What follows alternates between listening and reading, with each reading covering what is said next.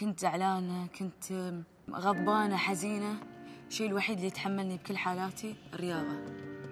بالنسبة لي أكبر حادث في حياتي اللي هي وفاة ماما الله يرحمها.